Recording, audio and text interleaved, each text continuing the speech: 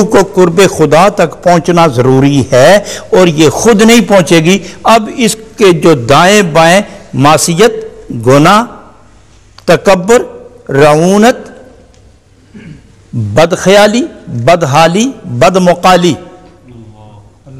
بری سوچ، برا فکر، برے اذکار، برے افکار، برے خیالات، برے حالات، برے مقالات۔ بری تدبیر اور اس کی بری تشہیر یہ رکاوٹیں ہیں۔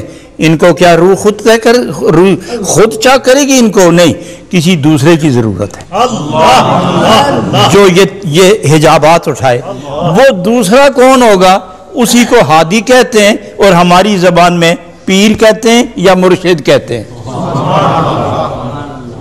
یہ جو مناظر طے کرانے والا ہے یا یہ ہادی ہے یا یہ مرشد ہے، پیر ہے، تو وہ بھی کامل، وہ بھی باخبر وہ بھی با علم، اور اس کے پاس علم بھی ہو، عمل بھی ہو، نظر بھی ہو، فکر بھی ہو، خبر بھی ہو۔